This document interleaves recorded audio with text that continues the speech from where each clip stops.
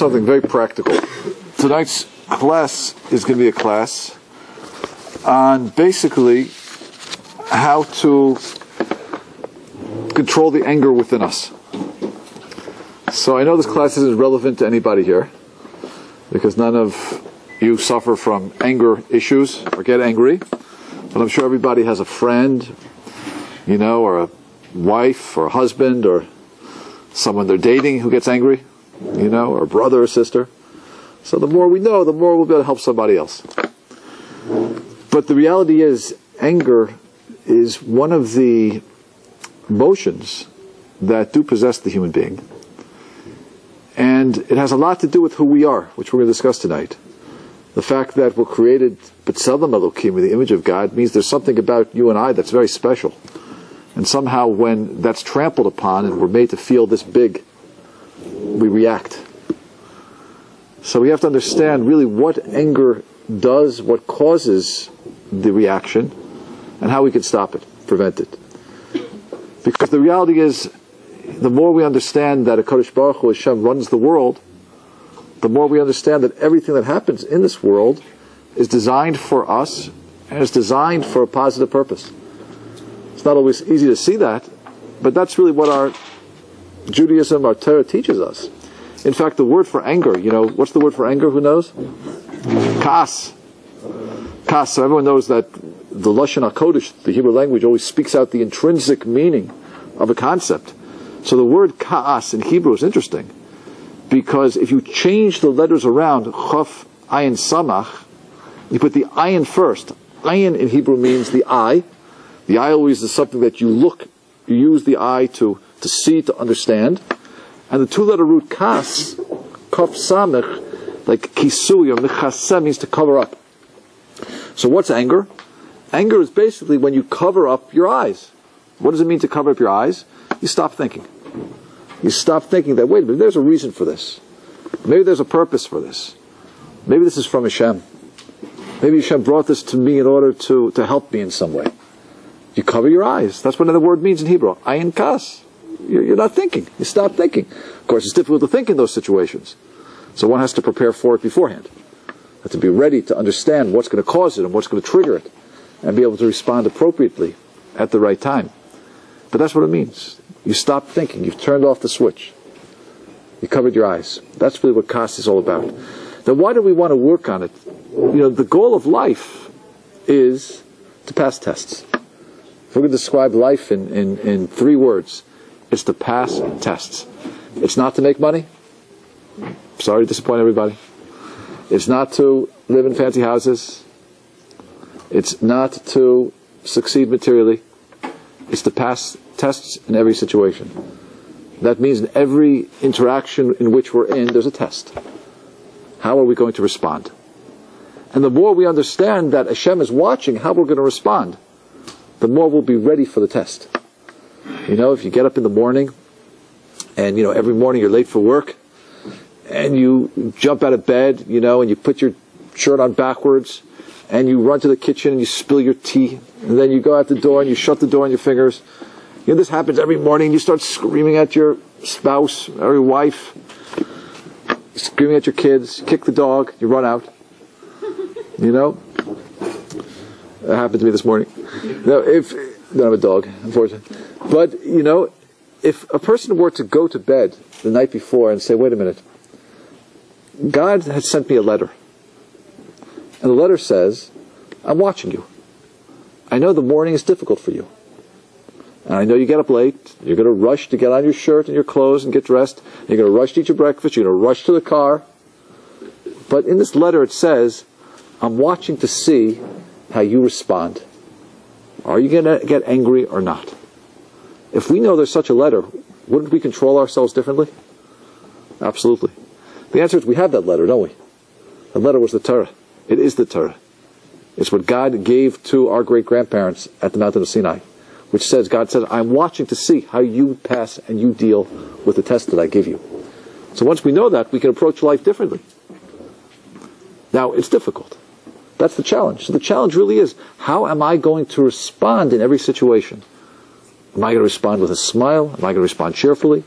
Am I going to respond with love? Or am I going to let my own frustrations and ego drive me. My own emotions drive me. That's what life is, to, to, to respond to those tests. So what I want to do with you tonight is I want to do something very practical. I'm going to take you through a practical piece in the Talmud. And in this piece, we're going to understand exactly what triggers anger, what causes it, and how to respond to it. And our sages were very brilliant. There's nothing in our Torah which our sages did not did not discuss and and delve into. And anger is a big topic for them. Because anger is everything. If you have your anger under control, it means you have a relationship with God. Your relationship with God is under control. Right? Because you realize things are from God, so why get angry? Fact, it says to serve, it says to get angry, you know, is like serving an idol. Why? Because when you serve an idol, what are you worshiping? You're worshiping a force, not God. When you get angry, what's controlling you, God or that, that, that emotion inside of you? That emotion inside of you, true? So Rabbi said, Misha koes It's as if he served a false God. So for that reason alone, it's worth discussing and understanding. But the reality is, if we want happiness in life, and if you want to have good relationships, if you want to have a happy marriage, a peaceful home, you have to understand anger. If you do, you're guaranteed for success. If you don't, life is difficult. So our sages were very aware of that, and Baruch Hashem, they gave us the key to unlock it and to understand it. And that's what we're going to do right now. So I'm going to hand out, I hope we have enough for everybody, a sheet that I made.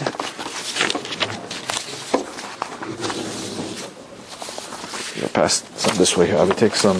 Here, Randy, I'll take one. Pass, pass it down that way. If we don't have enough, maybe we'll, we'll share or look on.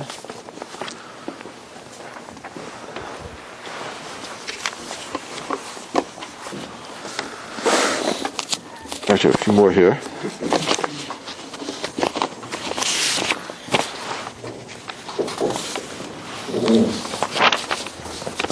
Yes.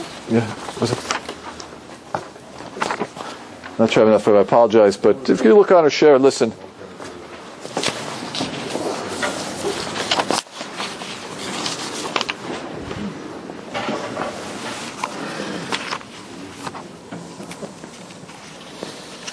Where's your cover? I'll do a few more here.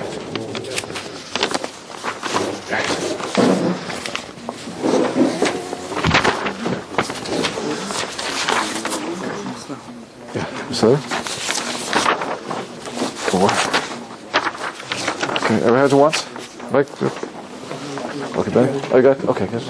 Okay, I apologize. Just ran out of here. Okay, so let's take a look.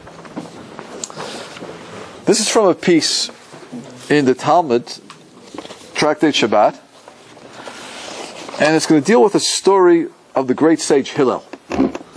Hillel was the leader of the Jewish people, going back about 2,000 years ago. And, you know, we know we've heard statements from Hillel. Most of the Talmud is decided, or Halacha is decided according to Hillel, not Shammai. So Hillel was the Nasi, he was the the prince, so to speak. He was the great sage of Israel, one of the greatest sages we've ever had. And there's a story that takes place with Hillel. Now I want to teach you something about stories. When the Talmud brings a story, it doesn't bring a story just for its own sake. When our sages, the author of the Talmud, choose to write something in a story form, they want us to understand that story. That's to say, they want us to understand every detail. There's no detail in a story that our sages bring which is extra, superfluous, or for no reason. Every word is critical. So if they choose to tell us something by means of a parable or a story, our job is to say, well, why this detail? Why that detail? Why do you have to tell me this? Why do you have to tell me that? Right? It's not just a folk tale, so to speak, where, you know, you want to describe something that happened. Our sages are teaching through a story. And every word, like in the Torah, Torah, where every word is from God, every word in the Talmud is from God, but our sages are writing with such precision. We have to unlock it by asking questions. So I'm going to challenge you. I'm going to read it to you, this story of Hillel.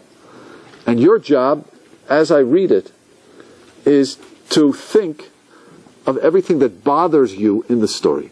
Now, what do you mean by bother? What could bother you or me is, you know, well, you know, does, why do you have to tell me this? Or why this event? Or why say it this way? Or, or, you know, isn't that a silly detail? Things like this, things that stand out like a sore thumb. Our sages did it for a reason.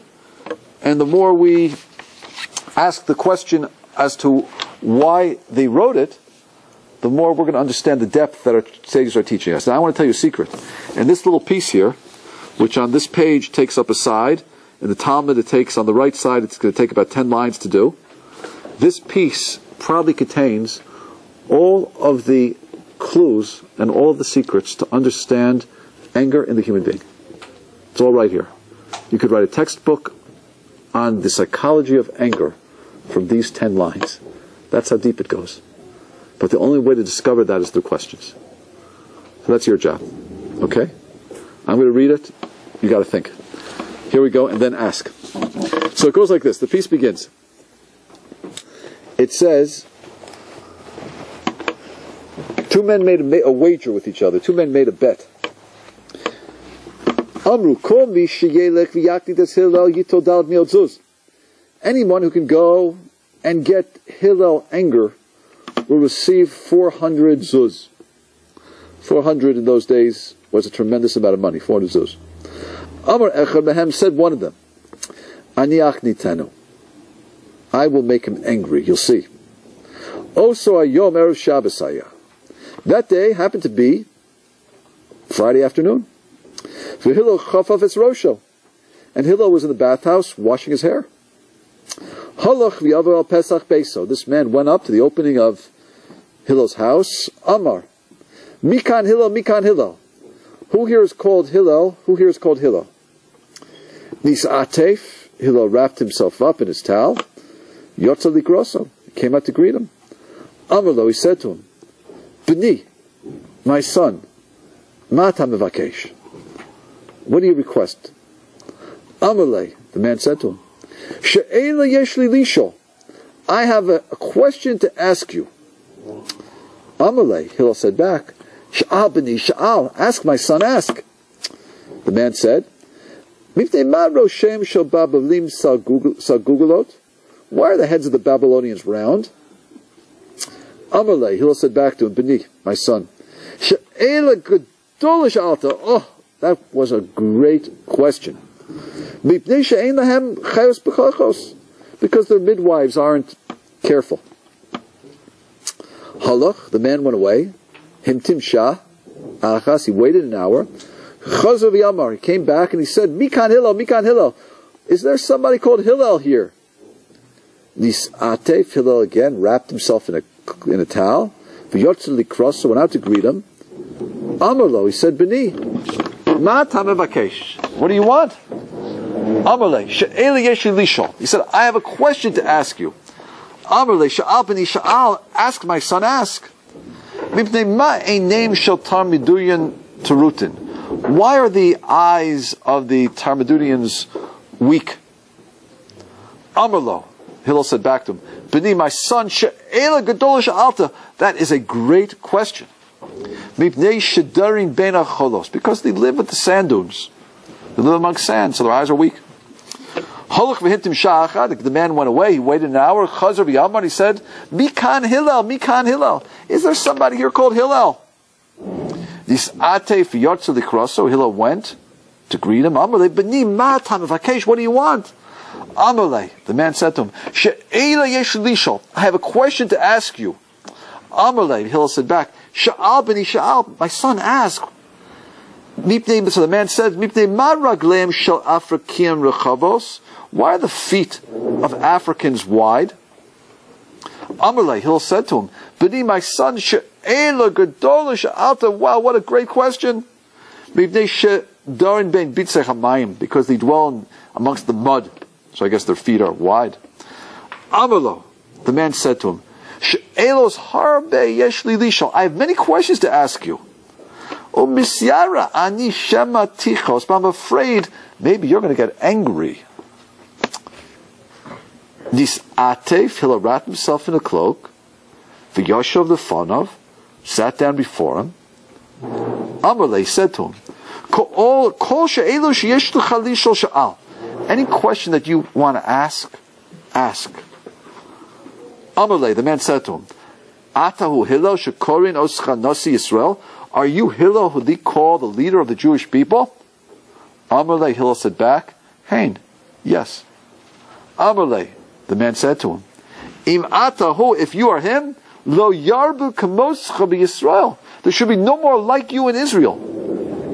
Amalei, Hillel said back, Beni, my son, mipnei ma, why? Amalei, the man said to him, Because through you I just lost 400 zuz. Amalei, Hillel said back to him, Habizah beruchacha, calm down. Kedayu Hillel sheta'abed al yodo dal mi'od zuz v'dal mi'od zuz. It's worthwhile that because of Hillel you should lose 400 zuz and another 400 zuz. For Hillel yakpid. Rather than Hillel becomes angry. You heard that story before? You've heard. Okay, famous, famous story. Now let's take it on a path that maybe you haven't heard before. Okay, everybody, go ahead. What are your questions? What bothers us? Good. Why is he washing his hair? More detail. The question really is, why do we need that detail that he's washing his hair? Who cares what he's washing, where he's washing? Excellent, excellent question. Nice detail. Good. Other questions? Why is the man asking question, questions that not pertaining to Torah? Like, you know what I'm saying? Yeah. If He's a Talmid Chacham, he should be asking. Beautiful, beautiful, Ex- excellent question. Obviously, this man is coming. He's speaking to Hillel, the, the leader of the Jewish people, one of the greatest sages in Jewish history, and he's asking questions that seem to have absolutely no relevance to anything. Good. Well, why did he choose these questions? Right. Excellent, excellent, excellent question to ask. Mm. Good. What's that? Third question is, should we get a first name? Good. Okay. For now, just, just ask the questions. We'll work on the answers there. Now, just ask, the, put the questions out there. Why specifically on Friday? Good. Why Friday afternoon? Good. Good. We know it's Erev Shabbos. Why Friday afternoon? Right. That we're probably thinking that one might be obvious, but right. Good detail. Why Friday afternoon? Then he asks, uh, who is a man named Hillel? Who is he? Yeah. Like he. Yeah. Right. What's he doing? He's saying, "Who is here called Hillel?" We're talking about the Nasi B'Yisrael. You know, it's like a man going in front of the White House. You know, is there someone in here called Obama? You know, I mean, like, you know, what's going on? Hillel is the most well-known sage in the Jewish people then and now. If he's the, as well, if he's so well known now, imagine what he was in his day. He was somebody. And a man comes up here, who Mikan Hillel, Mikan Hillel, who is called Hillel? Like, what's his trick? What's he up to? He asks several times. He he comes back good. How many times does he come back? Three. Three. Why three? God, I'm not going to answer, but three, think about it, three times. He doesn't come two times, he doesn't come four times, he comes three times. Yeah. Also, if you really want to annoy somebody, you ask them continuous questions, like he's taking a break. And so, Oh, good. You know, what's the idea? Right. He comes, he goes, he comes, he goes. Good. What's going on over there? Good. Um, most of the times when he asks him who here is Hillel, he never actually said I am him Oh, until towards the end. right. Good. You know, he, he right. He never, right. He could have, oh, excellent, excellent observation. He, when he says, who Mikan Hillel, who is called Hillel, yeah, it doesn't say I am Hillel. He seems to just sort of like, you know, come out and say, what do you want? Seems to be unfazed by the fact that this gentleman doesn't even know who he is.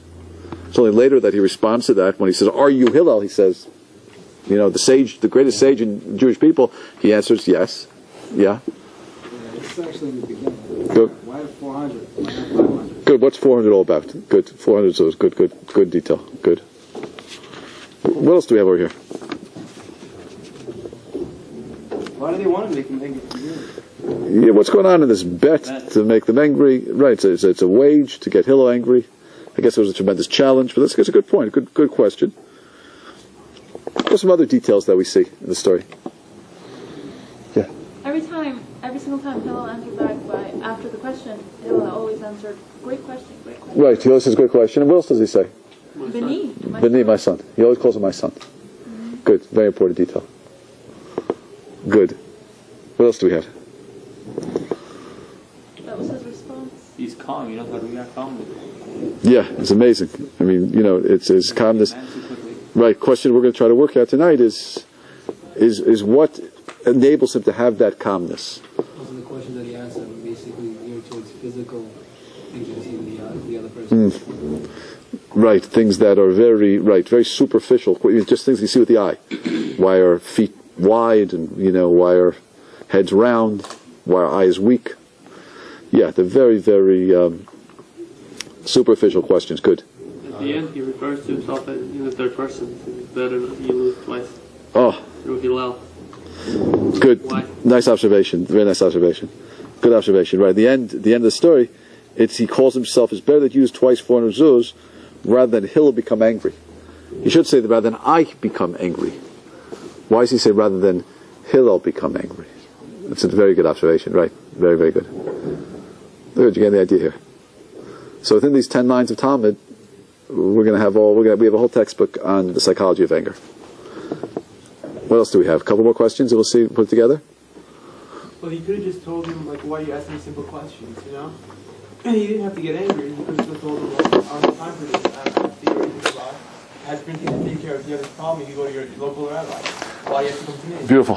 He's not getting angry. Good. No, I hear what you're saying. You know, no, yeah, I said you make a very good point. Like in, in the storyline, you know, we understand that the way the Jewish world works, in a sense, is that you have different levels and tiers of rabbis. You know, there's some people that you'll ask simple questions to. When you have the really complicated questions, you go to the greatest people. Hillel is the greatest person. You know, these questions you don't go to him. You used to go, you know, whatever the even if the questions are serious, wouldn't Hillel have the right to get angry, so to speak? You know, look, he's wasting my time. Like this is not appropriate. You know, but he doesn't. Yeah. But I think he's so humble that he, he doesn't have like that arrogance where not going to even say that. You know, he just, I don't know, I get that sense of the whole thing. It's just, he's just answering the questions as if they were maybe complicated. Hmm. You know? Right. It's a good. It's a good point. There's a humility that Hillel possesses. That's going to be very, very important to understanding how anger works. Okay, let's let's see if we could understand this and put it together a little bit. I'll, just, I'll try to take you right through it. So first of all, these two men make a wager. Whoever can make Hillel angry.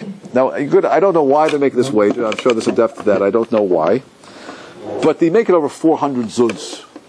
400, by the way, you know, if Aleph is the first letter of the Hebrew alphabet, the last letter is tough. Aleph is 1, tough is 400. The Hebrew alphabet only goes up to 400. After that, you use zeros and things like that to go into to the hundreds and thousands, into thousands and ten thousands and hundred thousands. 400 is the, is the highest number that we have in the Torah. Tough is 400. So 400 in the language of our sages is always a lot of money, a super amount of money. There's a lot of money at stake over here. Now, this person who was willing to take the challenge for 400 zuz, he was a master psychologist. I'm going to suggest. Because he understood, first of all, let's understand what are the causes of anger, some of the catalysts of anger.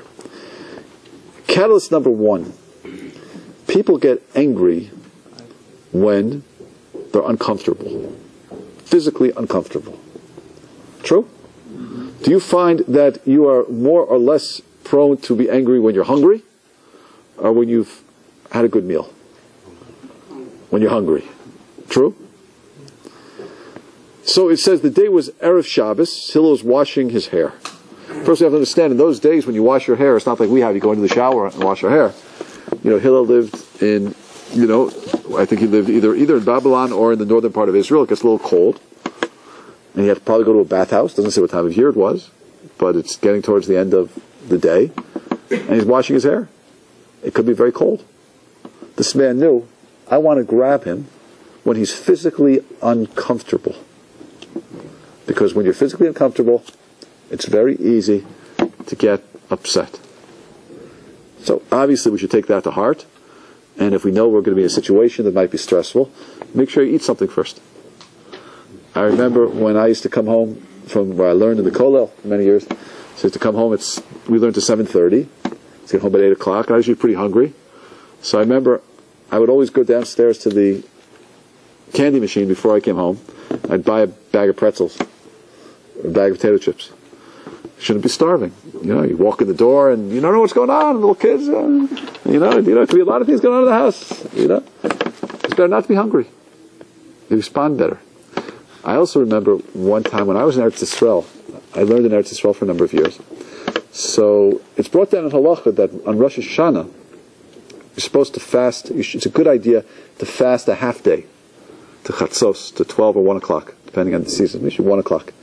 You know, it's Rosh Hashanah, you're going to be judged. It's a good idea to fast in the morning and before Rosh Hashanah to try to do repent, do tshuva. So it's brought down. It's a good idea. So when I was in Israel for many years, I would always fast Erev Rosh Hashanah until about 1 o'clock. I came back to America to learn in America, and I remember the Yeshiva Chofetz Chaim.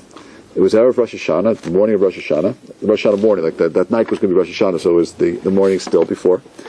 And I remember, you know, we davened the big long slichos, and I went into the dining room, and there's the whole yeshiva eating breakfast. And all the rabbis, they're all eating breakfast. And I was really surprised because it says in Shulchan Aruch that it's just a good idea to fast that morning. So I went to one of the Rosh Yeshivas, one of the rabbis there, and I said to him, like, what's going on? I thought everybody's supposed to be, we're supposed to fast. So he said to me, he said to me, let me ask you a question. When you fast, do you find that you are, you act better or worse? Me, when you fast, do you find that it's easier to control your anger or harder to control your anger? I said, harder to control my anger. He said, get a bowl of cereal. you know, I said, but why? It says in Shulchan Aruch, you know. He said, Rosh HaYeshiva, Rav Henoch, felt that in fasts that are not mandated, obviously, Kippur is mandated, Tisha B'Av is mandated, you know, Shabbos B'Tammuz, fasts that are just sort of optional fasts, like that, the Erev Rosh Hashanah is an optional fast. He felt optional fast, we should not fast. Why? Because it hurts our personality traits. It's too easy to get angry, get upset. So I sat down and had breakfast. So to this day, I don't fast Erev Rosh Hashanah. I, I, I eat normally. So this man was very wise. Let's grab him when he's physically uncomfortable. Erev Shabbat. Now, Erev Shabbat is also a day, I don't know about you, it's the most pressured day of the week. Right? There's a clock ticking the whole day. You know, it's easy now, but you know, now in the summertime, like this week, Shabbos comes in, what, at 8.10? 8.10 is like, something like that, right? 8.08, 8.10. But in the wintertime, you know, we have to be, the candle lighting can be at 4.10, right? And you have to get, you know, we have to get back from where we are, from work, whatever we're doing, and get in the shower, right? And get everything ready, and, and, and, and you know, it's a very pressured day. So this man understood something else. We're prone to anger when? When we're under pressure. So not only did he grab him when he was physically uncomfortable, when he's washing his hair, he also grabbed him when? When he knew that Hillel would be under a lot of pressure. Okay. So smart, smart opening move. Then he comes out and he says, Who here is called Hillel? Who here is called Hillel? Now this is really, if you could imagine a sword fight, this is the saber thrust. This is a, you know, coming when he's washing his hair under pressure. Okay, that's sort of the warm up. That's like a little, you know, a little punch here, a little punch there. Now he's going to go in for the kill. Who here is called Hillel? Who is called Hillel? Hashem created us in a way where we have an intrinsic greatness. The greatness is called the neshama. And that greatness that we have is a portion of God that exists inside of us. However, what we're supposed to do with that greatness is to realize that it's a gift. It's a gift from God to us, and anything that we achieve, it's only because God invested so much in us. That's to say that humility really means not that I don't appreciate that I have a greatness. Humility means that I recognize exactly who I am, but I realize that God gave me so much. How should we say this? If you're Michael Jordan, you're a great basketball player, and someone comes up to Michael Jordan and says to him, Are you a good basketball player? What's he supposed to say? He's supposed to say, Of course. I, I might even be the greatest basketball player ever played in the NBA. However, who gave me this talent? God gave me the body. God gave me the mind that's able to have this type of intense reflexes. God gave me a certain degree of drive. And if God had given you the talents He gave me, you might have even been greater because you might have worked harder than I did. So therefore, I could appreciate who I am and what I am, but I don't have to feel that I created it about myself. That's humility. Humility is you know exactly who you are. Humility is honesty. It really means honesty. I'm honest and I know exactly who and what I am, what my talents are, but I'm honest enough to know that I did very little to achieve them. Very little. Very little. The mind was there. Baruch Hashem. The body was there. The situations in life presented themselves. If we achieved, it's okay. Yeah, we, we, we used a little bit. We did a little work. We did a little work. But 99.9% was already the gift that God gave us. Yeah, I did a little bit. So, so where is there room for arrogance? Humility means that I know who I am. Now there's a danger though, however. The danger is that because we do possess intrinsic greatness, we want to perceive ourselves properly. We want to perceive ourselves as we know we really are. And it hurts greatly, therefore, when people or somebody will take away from who we are. You know, kids play this game sometimes. It's the most painful game you could possibly play. You know what it is? If they want to be mean, you know what kids can do? The silent treatment. You don't exist. You don't exist. Uh, I think girls do this also. Little girls, right? Boys aren't so bad about that, you know. But, but it's a very vicious thing to do. Because the worst thing you can do to somebody is say, you don't exist. Because I know I exist. And I know there's a greatness inside me. And that's why it hurts so much when someone insults me or you. Because you're attacking a part of me that I know is very real. You know? And therefore, this person to come up and say, Mikan Hillel, Mikan Hillel, I've never heard of you. I've never heard of you. You know, and the truth of the matter is, as a person feels they're more worthy of recognition, the more it hurts not to receive that recognition. If you don't feel you're worthy of any recognition, you don't care. But if you feel you are some, you are worthy of recognition because of your position, it hurts if no one knows who you are. So this person went right, this, this man went right to the saber thrust. He went right to the core of what could provoke anger. I don't even know you exist. Oftentimes what anger is, is really it's a way for a person to assert back that I am somebody. You just insulted me, or you don't think that I'm, you think, I think I'm a nothing, I'm a nobody? Or you don't think that I'm intelligent? Or, or, you, or you don't care about my feelings, you're going to trample over me? I'm going to assert back who I am by getting angry. Oftentimes what anger is, it's an assertion to reestablish the self. Because the self is very important. The only problem is, and it works, it's back, it backfires. Because think about it. Think carefully with me. What do you respect about another person? What don't you respect about another person? For example, you know, sometimes you read about these colleges where they have banana eating contests. And you hear that somebody ate 500 bananas. Does that engender your respect? No. Why? Because a gorilla could probably do it better. right? Or if somebody told you, you know, oh, I was at a wedding last night, and you know how they brought that lamb out at the end of the wedding? I ate that entire lamb. Does that engender your respect? No. Why? Because a lion in the zoo could do it better. Anything an animal could do better than us, we don't respect a human being for. What we do respect a human being for is when a human being overcomes the animal in who he is and controls the animal. What do I mean? Tzaddik. What's that? Tzaddik. Tzaddik. Very good. Tzadkuf. That's a tzaddik. Why? Because I'll give you an example. You know, the animal in me says that I want to eat the extra piece of pizza. I'm hungry. But you need it more than I do. So for me to control my animal and give it to you, that engenders respect. When people give away what they have to somebody else, we respect that person. Why? Because the natural animal in, in me, animal says, look, I want it for me. But to give it away because you need it more, that's something that only a neshama can do.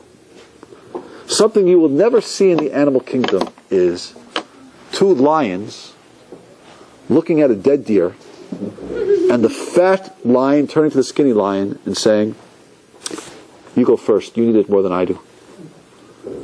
That is something you will never see in the animal kingdom. Because an animal responds instinctively. If it is stronger, it will go first, regardless if the other one needs it. But what you will see amongst human beings is you will see very strong, powerful, wealthy people turning to someone else and say, You take it, because you need it more. And I'm willing to go hungry, because you need it more. And that's what we respect in people. And I thought about this for once, and I was thinking, you know, even by athletes, what do we respect about athletes? I mean, I think what we respect about an athlete, you know, even a Michael Jordan or somebody like that, or a Roger, you know, Federer, you know, if you like tennis, you're following the French Open, you know, what we respect about athletes is not their athletic prowess. Not that they can run fast or jump high, or that they're, they're very big and strong and muscular. That's not really what we respect. You know why? Because anything the animal can do, you know, you know, a wrestler. Do we respect a wrestler for his muscles? Put that wrestler in the ring with a mountain gorilla. The mountain gorilla will tear him apart. So why do we respect a person for his muscles? We don't. That's the animal. What we do respect an athlete for is usually, you know what? Is the guy's a team player. He passes. He doesn't shoot. He doesn't. He doesn't look for the glory. He controls himself even when somebody insults him or somebody knocks him the wrong way. You know, he's always looking to make his team look good. He's not out of. His own, he's not looking for his own personal gain or glory. That's we respect even about athletes. Respect when they act like souls. So it's counterintuitive. When somebody insults us, it hurts deeply because there's such a need to assert that I exist, I am somebody, and because we are somebodies. So we think the way to do it is what? Is to respond with anger. If I could show you that I'm angry and yell back, you'll see that I'm a somebody. But you know what? It's counterproductive. Because the angrier we get, the less the person respects us. What people respect is when you control your anger, because now you're acting like a soul. You know, animals get angry. You know, you kick a dog, it snarls. You kick a human being if you stop and say, I'm going to be calm. Wow, now you've just acted like a neshama, a soul. And that engenders respect. Now, it's the degree to which a person can be fully confident in who they are and know that I don't need you to establish that I exist. I know I exist. I know I'm somebody special. I realize that I have a special soul. And your words don't take away from who I am because I worked hard to know who I am. The degree to which I know who I am is the degree to which your words cannot affect me. Hillel knew who he was. He knew he was Hillel. He knew exactly what his strengths are. He didn't need, need this man's affirmations or the fact that this man wouldn't acknowledge who he is to, to, to establish that he exists. He knows exactly who he is. And therefore, this man says, Hillel, I've never heard of you. He's able to be calm about it. And he doesn't have to get angry and reassert who he is. There's no need for it. Because he knows exactly who he is. That's what humility is. It takes a lot. Humility means that I know who I am. I know my strengths. I know my weaknesses. I know my strengths very well. I know they're gifts from God. I don't have to play to the crowd. I don't need a crowd clapping there to tell me that I'm somebody. That takes a lot of inner work. And it's such important work. Because if a person could feel that sense that I exist and I'm somebody without the approval of others, people don't have the power to harm you and affect you. You think about it. Think about it. That's usually why people get angry. I'm a somebody.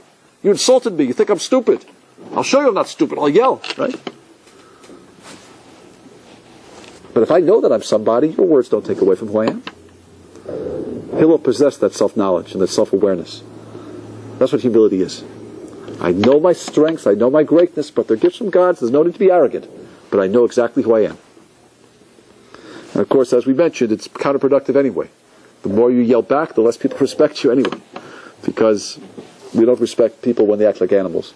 We respect people when they act like souls. I remember one time though, you know, if you want to just get revenge, it's a very good way to get revenge. And one time I was parking my car. You know, in New York, how we park our cars.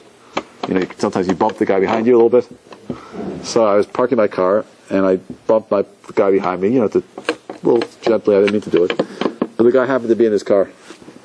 So he comes out screaming at me, and was ready to, you know, you bumped my car. Like, uh. So I said to him, "I know, I'm sorry." He said, "But you bumped it." I, I said, "You're absolutely right. It was my fault. I'm sorry." He said, "But did you see what you did?" I said, "You're absolutely right. My fault. I apologize. I was wrong." And he looked at me. He just exploded. Why? Because the more I acted like a soul, the more it accentuated the fact that he was acting like an animal. So he felt even worse about himself, and I felt very good about that. So, you know, I walked away, I won. So, you know, if you really want true revenge, stay calm. No Okay. But stay calm for other reasons. So let's go on to the story. So what happens over here? So it says, Hillel wrapped himself in his cloak and went out to him. He said, My son, what is it you want? So, so someone asked me a question. Who said over here, my son? Well, I have a very good question. Why do you have to know that detail that he says my son? You know, in life, sometimes we get angry at people because in our minds they become monsters. In our minds, we've completely taken away anything real or human about them. I'll give you an example of what I mean. One time I was on a checkout line, I forget where, but I was, you know, waiting for the, the girl who was checking people out. You know, she had her, she was talking on the cell phone, you know, completely slowly, you know, checking, like doing the clicking with one hand, you know, like this. And I was under pressure to get somewhere, and she's talking on the cell phone, you know. And instead, I'm looking at my, my watch, and this is like taking forever. And she's just talking on the cell phone, you know, click, click, click, click, click, and then she puts it, you know, takes with the other hand, holds it up here, you know. And I'm thinking, oh my gosh, like how inconsiderate can you be? And I had, like, I was ready to, you know, as soon as it was my turn up there, I was thinking what I was going to say to her. And um, so I get up there, you know, and I'm like thinking in my mind, I'm going to really, you know. And I look up at her, and I'm about to just, I look up and I say, Mazal, how are you? It was Mazal, one of my students. You know, so I'm not going to say last name, but you know, how are you? Great to see you. How's it going? How's the job going? You know, great. You know, what, I said, what happened over there? You know, when she, when in my mind she was the checkout girl, I totally dehumanized her. However, once she was my student, okay, she had a phone call to make. You know, we all have phone calls to make. You know, uh, we had to make a phone call. Like, what do I? I have it said because you have to make a phone call. It's my student. Make a phone call. You know. I, you know, I would have said, "You need my phone. Use my phone." You know. What, uh. the problem is sometimes we get angry, and because we don't see that the other person is valuable. Our anger blinds our eyes to such an extent that we look at the other as if they're not even human. They're just a, a, a anonymous person. But Hillel was very smart. Hillel knew that this man had an agenda over here. He sensed it. First thing he says to him, he says, Bani, my son! You're my son. My son. I feel to you like a father. You're my son. You don't get angry at your children so much. You know, you want to help your children. My, my son. What is it that you want? He says, I have a question to ask, the man began. So Hillel says, Ask my son. So the man says, Why is it the heads of the Babylonians are around? Again, a question which is ridiculous. You know, you don't ask Hillel this question. There are people that, you know, you, there's a hierarchy in the order of questions. We know that. This is not a question for Hillel. You know, there was a great sage, Rav Moshe Feinstein. Passed away in 1986, one of the greatest sages we've had in the last hundred years. So he was the type of person you go to to ask questions like, uh, you know, the major questions in life, like, you know, what constitutes life, what constitutes death, you know, when can you take people off respirators, you know, questions that are like you have to go to the, the top, top people. So there was once somebody in his yeshiva down in the Lower East Side, Balchuva, who was just learning Hebrew. So every time he didn't know a word, he would go up to Rabbi Moshe Feinstein, who would sit in the back, you know, nice old man and white beard, and he would say to him, "What's this word?" Rabbi Moshe would always uh, say, "Oh, that word that means apple," you know, What's this word here? Oh, that word, that that's door. You know? Or, he used to ask him questions like that. Then someone came up to this guy and he said to him, listen, do you realize who you're asking these questions to? That's Rav Moshe Feinstein. He's the major halachic decider in the world. Do you realize that he gets questions from the greatest rabbis all over the world daily? And he decides really the fate, you know, of the halachic fate of the Jewish people? You don't ask him questions like, what's an apple? You know, that's not what you ask him. So this kid, this guy, he got, he felt, you know, a little embarrassed. So he stopped asking him. So Rav Moshe apparently um, came over to him and said to him, after a few days, he said to him, You used to ask me so many questions. What happened? Looks like the bigger you are, you know, even small questions don't bother you. Because you know who you are. He's not trying to insult him. He wants to help him. But this asks this guy, but there is a hierarchy of questions. But once when you know better, that's not the question you ask Rav Moshe. But this guy goes right to Hillel, the greatest sage of the Jewish people. He says, Why are the heads of the Babylonians round? So he says to him, You've asked a very important question. Because they don't have alert midwives. Now, I have a suggestion over here to this line. Maybe you'll agree with me, maybe you'll disagree. The Talmud asks a question and says, Why did Hashem create humor? You know, why are we funny? You know, all of you are very funny, right? We love jokes. We love to laugh. Why did Hashem create this reality that we have find things funny? You know, we like to be funny. And we like when someone else is funny. We enjoy it. So Thomas says something very fascinating. It says in order to mock and make fun of idol worship. In order that we should make fun in life of things that are false. Those you're supposed to use your sense of humor in order to make fun of that which is unreal and false and stupid. And avodah zorah, idol worship, is certainly false. You know, our rabbis say, by the way, as I mentioned before, that anger is similar to idol worship. Right? One who gets angry, it's as if he served an idol. And again, we mentioned the reason before, because when you're angry, when you're angry, who, who's controlling you? It's not God, it's, it's this emotion. So, the Torah, I think what the Talmud means is that anger was created, excuse me, laughter and humor was created in order to fight anger. Hillel understood this. I believe what Hillel is doing over here, he's making a joke back. This man is asking him a question, trying to annoy him. What does Hillel do? He makes a joke. Makes a joke. You ask me why the Babylon's heads are round? Stupid question. I'll give you a stupid answer. You know, I read a story one time that a certain man was at a dinner party with his wife. I guess they were having some sort of fight. And in front of all the guests, she says to him, You are a stupid idiot. you imagine that? A wife says to her husband at a dinner party table, You are a stupid idiot. And the guests like went, you know, silent.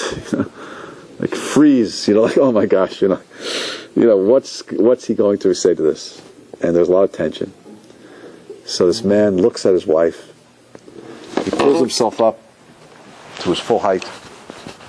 He looks at her and says, I've been an idiot my whole life, but that's the first time I've been called a stupid one. and she laughed, and people laughed, and he diffused a really serious situation. So, God gave us a sense of humor in order to help us diffuse anger. So, if you're funny, you have good sense of humor, use it when you feel angry. Use it. Make a joke. That's when you, that's the time to make a joke. Say something funny. Say something, you know. I think that's what Hillel did. Hillel understood that. Why are the heads of the Babylons around? Oh, because they have alert midwives. Now what happens? The man waited a short while until Hillel had gone back to his bath. Then he yelled out again. Who here is called Hillel? Who here is called Hillel? He comes again. Same technique. Let's get him when he's uncomfortable. And let's try to bother him. And let's show that I don't even know who he is. Again, Hillel wraps himself in his cloak, went out to him. He said to my son, What it you wish? I have a question to ask, the man said. Hillel said, Ask. My son, ask. Why are the eyes of the Tarmodians weak? Oh, what an important question because they live among the sand dunes. You ask a stupid question, I'll give you a stupid answer. The man went away, waited a short while, returned, and yelled it a third time. Who here is called Hillel? Why does he come three times? What's important about the number three? Three strikes you out. Right. Why three? Three times a charm. Judaism three times creates a chazaka, right? Um, also, like, you even have with, um, if you're asking somebody for forgiveness and they're not giving forgiveness, you should ask them in like Three times. Yes. three times. So it's like trying to get him in any way you can. Good. Three times. Good, good. What's interesting? I'll tell you what's interesting about number three. The mystical sources tell us that three is the minimal number that you need to have a pattern. True? If I have two points, do I have a pattern? No.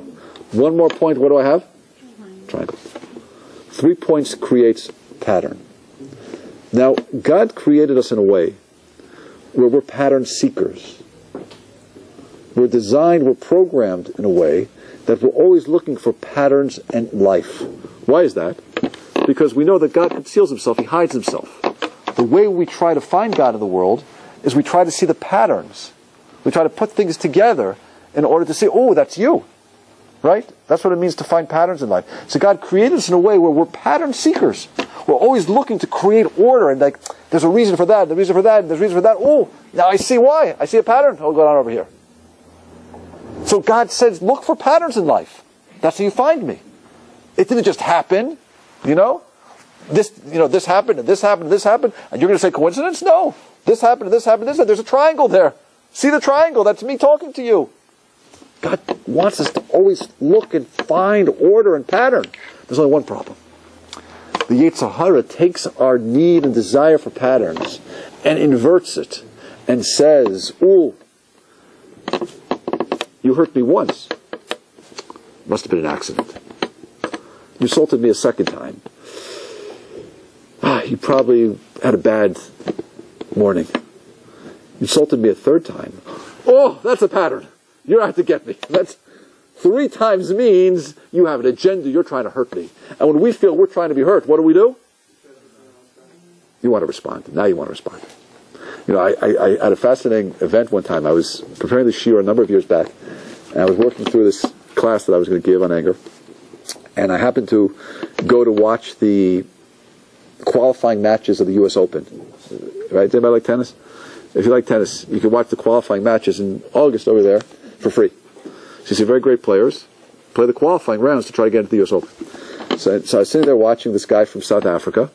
And I remember he was really big. And between sets, he would eat bananas. I guess he needed the, the, the potassium. And he was, you know, he was strong and big. And I remember they had this linesman, this one linesman there, who was making bad calls. He was making legitimately bad calls. And I remember the first bad call he made, this guy like gave him a, a glare. And then a few more games went on. He made another bad call against him. And he looked at him and he goes, well, he said something like, "Don't you, don't you have eyes?" A few more games went by. The other, the, the linesman made another bad call from him. This guy went up to the net, took his racket, and threw it at the linesman. So I was watching this. I was thinking to myself, one, two, three. Look at that. Three times. He saw a pattern. Beautiful. Oh, there it is. When something happens to us three times, now there's a pattern. This, this guy was smart. He knew he's not going to get Hillel angry once. Because look and feel, the guy's a nebuch, you know? The guy's just a, uh, he's a nudnik, as we say. Two times. Okay, the guy is like, I don't know, something's wrong with him. But three times, this guy's trying to get me. And when you feel someone's trying to hurt you, the natural response is to self-defense. This guy was very brilliant. He comes three times. Now what happens? It says Hillel wraps himself in his cloak and goes out to him and says, My son, what did you wish? Once again the man repeated, I have questions to ask. Ask my son, came the patient response. Why are the feet of the Africans broad? My son, you've asked a very important question because of among the swamps. You ask a stupid question, I'll make a joke. Frustrated, the man made one final attempt. I have many questions to ask, but I'm afraid that you might become angry. What's his technique over here? What's the psychology? The psychology works like this. I'm going to tell you a secret about human nature. You've probably heard this phrase before, but I'll say it again. I have never in my life done anything wrong. You in your life have never done anything wrong. Because I can't do anything wrong. You know why? Because my neshama is too great and too strong. And if I were to do something wrong, my neshama would rebel and say, do not do that. But the reality is, I have done things that are wrong, and the reality is that you have done things that are wrong. Because that's part of what being human is. So how do we do that if the neshama is so strong? How can I do things that are wrong? My neshama said, my neshama is so pure and holy. How is it? How does it let me get there? Ah, enter rationalization. Rationalization means that God created us with a mind that can rationalize something which is bad and turn it around to make it as if it's really good. And that's to say, while we are doing something which anyone else would say is wrong, you know what we're thinking in our mind? I'm really doing a mitzvah. It's a mitzvah. You know, I, I am, I am, I know I'm stealing right now, but I'm allowing the owner of this fruit to help somebody who needs help the needy. Right? I'm allowing the person. I'm doing a mitzvah. I know I'm getting angry right now. Anger is wrong. I would never get angry, but sometimes I can justify my anger. You know why? Because I have a right to be angry. We call it righteous indignation. I have a right to get angry because how are you going to learn unless I get angry? If I don't get angry, you're never going to learn. Hillel had every right to be angry. I think it was suggested over here. He had every right to get angry, didn't he? He's the greatest sage in Israel. He has pressures of, of, of the whole Jewish people on his shoulders. And this guy comes out of Shabbos to ask him the most stupid questions in the world. He has every right to say, look, you have no right to do this. You're hurting people. You're coming to ask me these questions. It's taking away from my ability to help people who really need help. I need to teach you a lesson. My anger is there to teach you a lesson. Of course, it's forbidden to get angry. It's like serving an idol. But I have a right to get angry. I, I remember one time I was in a synagogue, and the person who was in charge of the minyan was waiting for a certain person to come. The person was late, late, late, didn't come. Started the minyan without that person. And the person came. Afterwards, he came up to the Gabbai. He said, How could you start the minyan without me? And he was very, very insulted. And he started screaming in, front of everybody. He said, How could you start the minyan without me? Like he was really, really upset with this. And then he turns towards me and he says, And don't think I'm getting angry because of my own honor. I'm doing this for Rabbi Kraft. First, you're not going to wait for me. Then, you're not going to wait for Rabbi Kraft. So I called this guy by later, and I said to him, you know, this person had no right to speak to you like that. I'm going to speak to him and tell him that he was wrong. But you have to understand that he was insulted. But how did he justify his anger? He justified his anger. He knows it's wrong to get angry, but he was trying to protect the honor of the rabbi. Now I have a right to be angry. That's called righteous indignation. I never get angry. I only get angry when I feel I'm getting angry because it's a mitzvah. This guy turns to Hillel and he says to Hillel, listen to his words. What does he say? I have many questions to ask, but I'm afraid that you might become angry. Hillel calmly sat down before him. Ask all the questions that you would ask, he offered.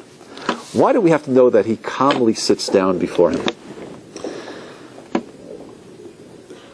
The Mesilas Yesharim of Chaim Luzzatto teaches a very important lesson about human nature. It's very difficult to access the inner side of who we are. It takes a lot of work. The way to access the inner side of who we are is by controlling the outer part of who we are. That's to say, I can't always control my feelings, but I can control. I can control my actions. It says that if you want to have a calm inner disposition, the way to achieve it is by having calm outer actions. It says the chitzonius misares epinimios. The external action arouses internal feeling. It's an important principle in life. If you want to feel love for somebody, tell them you love them. If you want to feel calm on the inside, act calm on the outside. It's an important tool to use. Hillel understood this. Hillel sits down calmly before the person. He might not be able to control his human. He might not be able to fully control the inner part of who he is. He knows this man is working very hard to anger him. But he can control the external action. So he sits down calmly. Very important.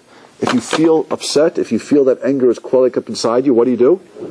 Very important. King Solomon tells us, speak with a soft voice. Korach. Rather than responding with an elevated voice, start responding very softly. Just by speaking softly, you'll find that you get the anger under control. Move slowly. What we do on the outside will determine what we're going to feel on the inside. What happens? In desperation, the man asked, Are you Hillel, who was called the leader of the Jewish people? Now, this is my favorite one word of the entire piece. What does Hillel respond? Yes. Are you Hillel, who's called the greatest sage in the Jewish people? Now, you might think Hillel would say, Well, I'm not the greatest. You know, there are many great sages out there. I'm one of many. What does Hillel say? Hain. Yes. Hillel knew exactly who he was. He knew exactly who he was. He knew his greatness. He knew he was the greatest sage in Israel. But at the same time, this man couldn't pierce the armor and try to make him feel insignificant because he knew he was. But at the same time, he's not insulted by the person not knowing who he was because he has humility. Humility means I know who I am, but it's a gift from God. You don't have to, I don't need you to define me. I know who I am. At the same time, I don't have arrogance, because if there's arrogance, then you have, then by your trying to take away from who I am, will hurt me. I don't feel hurt by your remark either. But what do we see? Humility doesn't mean that I feel I'm nobody. Humility feels, if humility is I know exactly who I am. Honesty. I know my strengths, I know my talents, but honesty also means that it is a gift. It's a gift from God. If a person knows that, an insult doesn't harm you. An insult doesn't take away from it. The insult doesn't, I don't need to protect and restore who I am in your eyes, because I know who I am. If Hillel was arrogant to any degree, what would happen? Yeah, he would feel insulted, but he's not. There's no falseness in him. He knows exactly who he is. So what does the man say? If you are he, then there, there should be no more like you in Israel. Question. Is that an insult? Is that an insult? If a person were to say to you, there should be no more like you in the whole Jewish people, would you feel happy with that comment? What would be your response if someone said it to you? There is no one like you. Well, well, that's one thing you could say. Or you, you know, or you could, respond. you could, true. You might say there's no, or you would respond and say, you know, or, or at least try to defend yourself. It's an insult. There should be no more like you in Israel. Yeah. Look at it from the other way, saying that Oh, uh, well, I mean, uh, good, good point. It sounds like an insult, though. Are you legally called the Jewish people? Are you, are you Hillel was called leader of the Jewish people? Yes. If you are he, then may there be no more like you in Israel. Yeah, I, it, it sounds from the tone of it. It doesn't sound like he's praising him. It sounds like he's saying that I'm, I'm very upset with you. There should be no more like you. So it's that to me. I think my response would be, you know, what do you mean there should no more like you? There should no more like you. You know, the Hillel does the smartest thing right here, and we're going to right in the next line. We're going to get one of the major foundations of how to control anger in one word. One word is so crucial here. You know what he says? What does he say, Hima? Why? Why? Why? And what does the man respond back? Because I just lost 400 zuz through you. It's nothing personal. You're a wonderful guy. You're, I love you, you know. Greatest rabbi I ever met. But I just lost a lot of money through you. Then Hillel says, listen, calm down. You know, it's better you lose twice 400 zuz than, you, than, than, than I become angry. Now, I'll tell you why I love this line. Why so much? You know, we live in a world today where we're, God's in exile. We're in exile. Exile means, it's not just a physical exile, but we're exiled from the land of Israel. Exile means that just like we're not connected to the land, we're not connected to God as deeply. And the reality is we're not connected to each other fully as well. As a result, we really don't understand often what people are trying to say to us. We can hear words, but oftentimes what we hear is not what the person is saying. That's a function of exile. You know, when Mashiach comes, God willing, soon, we're going to be able to relate and connect to each other and we'll really understand what each other is saying. I'll tell you a fact, you know, like we go, you go to a wedding. You're supposed to go up right to the bridegroom, say to the bridegroom, right? We all did this in the Yemen classes. What do you say? It says you just married a Ishanov Chasudah, a righteous and beautiful woman. So our sages ask a question, but like, supposing she's not beautiful, or supposing she's missing a leg, maybe you should praise her intelligence.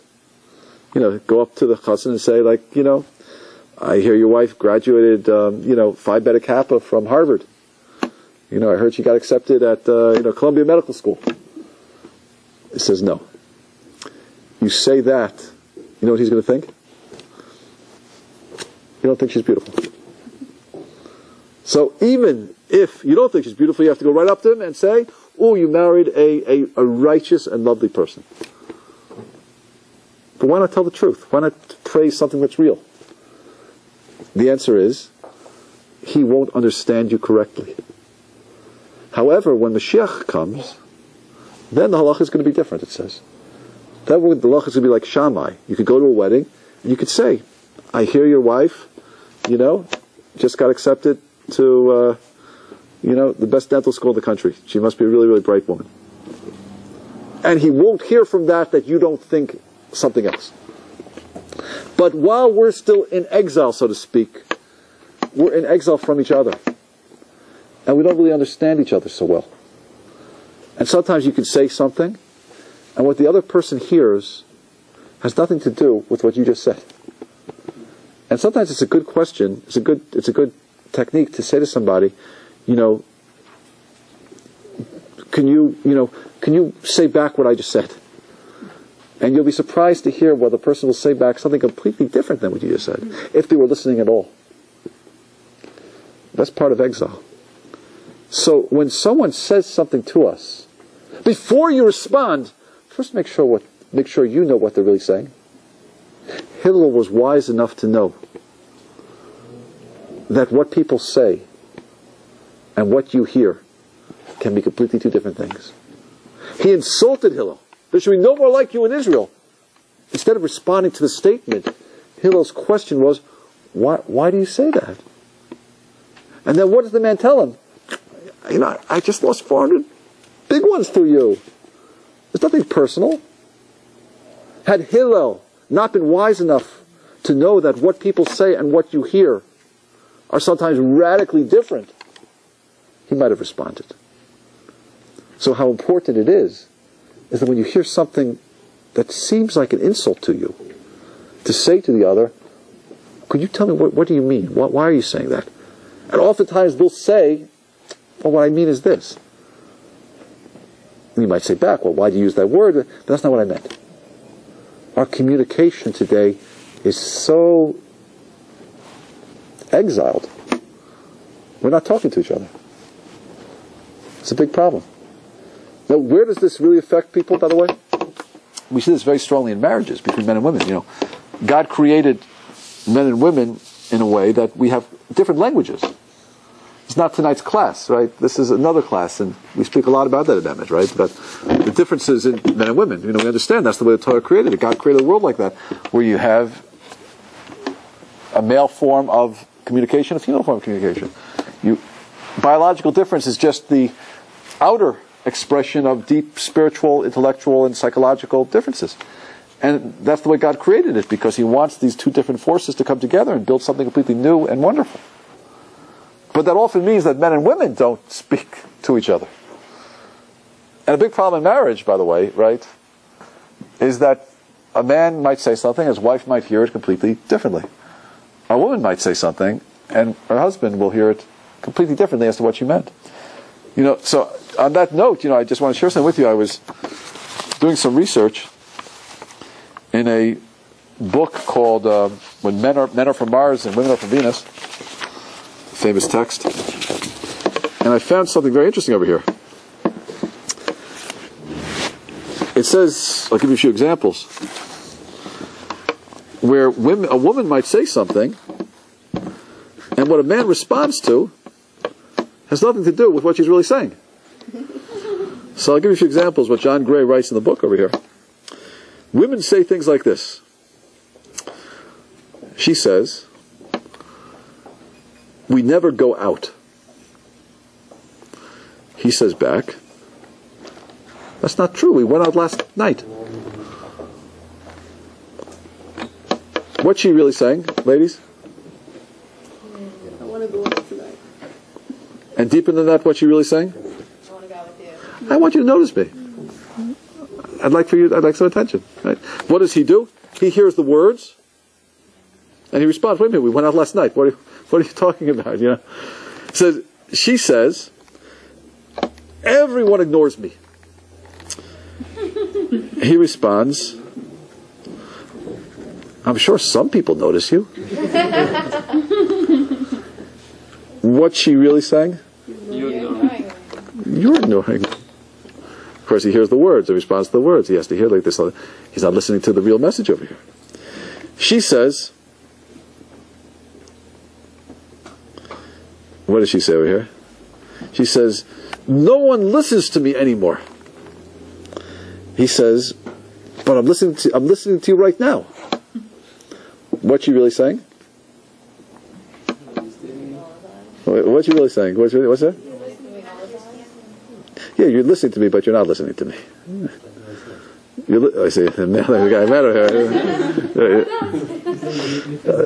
You're physically there, but you ain't there. The brain isn't there, and you're not there emotionally. You're, you're, you might your your ear is right. You're hearing you're hearing sound vibration. That's about it. Uh, so she says, "This is an interesting one." She says she says nothing. No, she says nothing is working. And he says, Are you saying it's all my fault? What's she really saying there? Ladies, help me with that one. What's she really saying in that one? She's not getting back to him. She's being specific, I think, but she's just exaggerating. She's exaggerating. This is a language exaggeration. Just exaggeration. You know, the man hears it literally, though. What you're saying is my. He feels accused. But she's not accusing him. I don't know. Maybe I'm not sure. Then she says another line. She says, "This is oh, this is a common one." Says, uh, "He says, you don't love me anymore." he says, "Of course I do. That's why I'm here." What's she really saying? She wants to hear it. She wants wants to hear it. I, I want to hear it. All I'm saying, right? I'm not saying. I, I just need. I want reinforcement. I want assurance. Really, really, she's saying. Am I correct, um, ladies? She's really saying. You know, I need assurance right now. But here's the words, and he says, "What do you mean?" You know, like they said a joke. You know, she says to him, "You know," she says, "You know, how come you never say I love you anymore?" So he said, "Listen, I said I loved you under the chuppah. If anything changed, I'd let you know." she says, what else do you say here? He says, the house is always a mess. He says back, it's not always a mess. What's she saying? She needs help. I need help. I know, I know. The words are a code to communicate a feeling.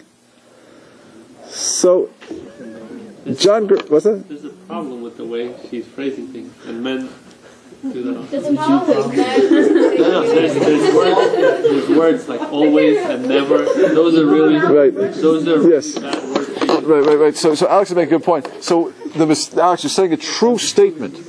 However, the point is, the, the, the point, the point is, you know, that, that John Gray makes in this book, and I, I think it's a very true point, is that men and women have a different mode of communication. The communication for a woman can be more the language of exaggeration. It's more emotional. It's bigger.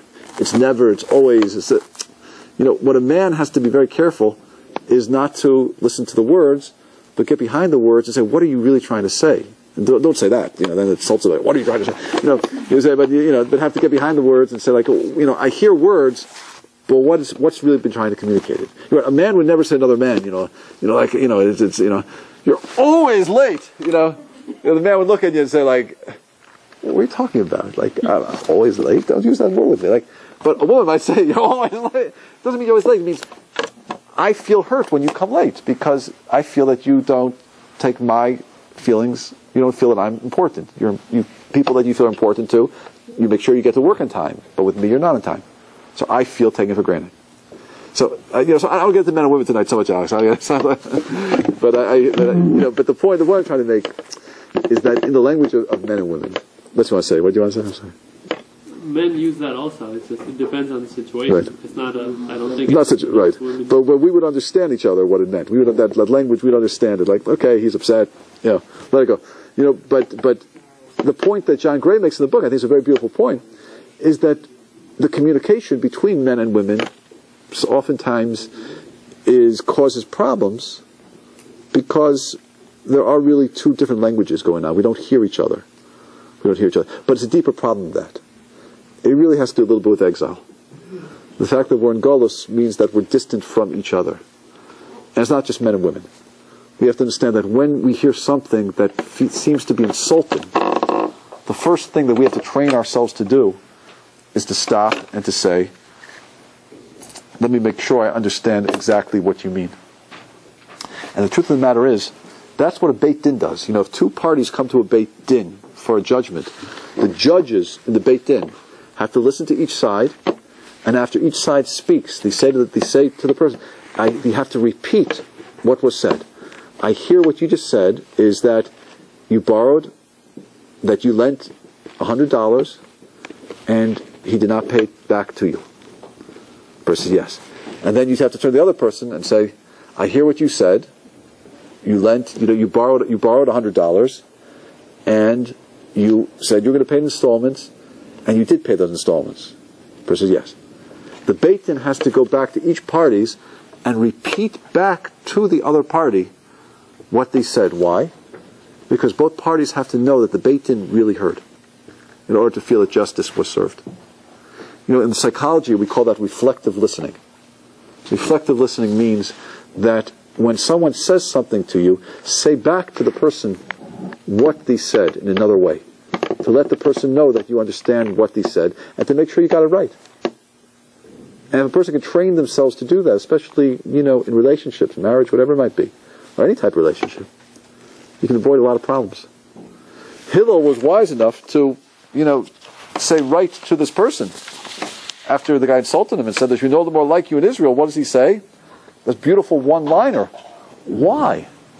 Contained in that one word, why, are what all the pop psychology books will write on reflective listening. Make sure you understand that which was just said to you. Because if you do, you'll realize oftentimes what you perceive as an insult is not an insult at all. The person's saying something, but his words are not really what he's trying to communicate. Okay. So let's just put it together and just see what we said over here.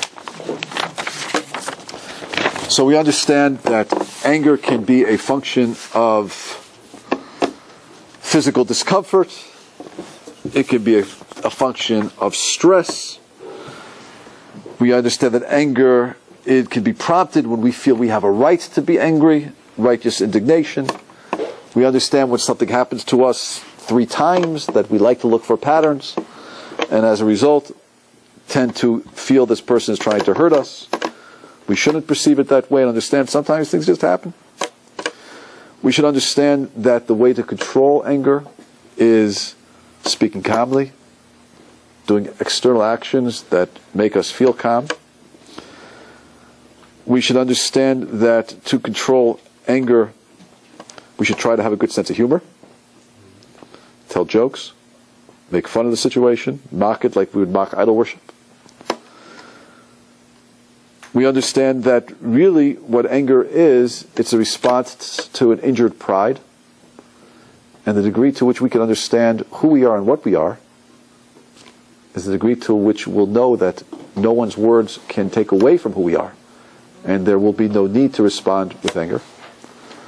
We have to understand that if anger is the response or our attempt to restore lost pride, it's completely a non successful attempt because the person doesn't respect us more, they respect us less because we're acting more like an animal. And finally, we should understand that every situation in life is a test. Are we going to get angry or not? That's the test. The test of life is not, are we going to get to work on time? The test is, despite what's going to happen to me in the process of getting to work on time, am I going to be frustrated and angry? And the degree to which we can realize that everything in life is God's way of testing us, and it's when we pass those tests, it's where our eternal reward lies, is the degree to which we'll look at life in a different way. And instead of responding with anger, try to realize this is an opportunity, an opportunity to control myself. And as we mentioned, what is anger? Anger is ka'as. The three letters, if you flip them around, are ayin kas. The eye is covered. Ayin kas. The ayin, the eye which sees and perceives and understands, is covered. Meaning what? I'm not thinking. Because if I would think, I would realize nothing in this world happens unless God wants it. Therefore, this must be God's will. It must be a test. And my response has to be a calm, controlled, thought out, patient, soft approach. Is it easy? No. Is it important? Absolutely.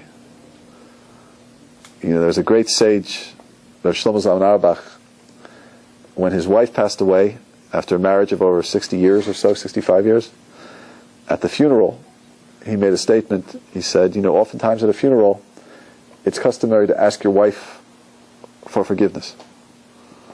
Or a wife would ask her husband for forgiveness. He said, We were married over 65 years. I have absolutely nothing to ask my wife for forgiveness for. And she has nothing to ask me for forgiveness for either.